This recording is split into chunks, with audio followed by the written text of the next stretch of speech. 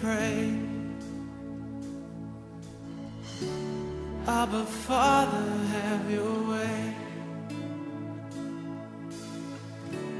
Though they know not what they do,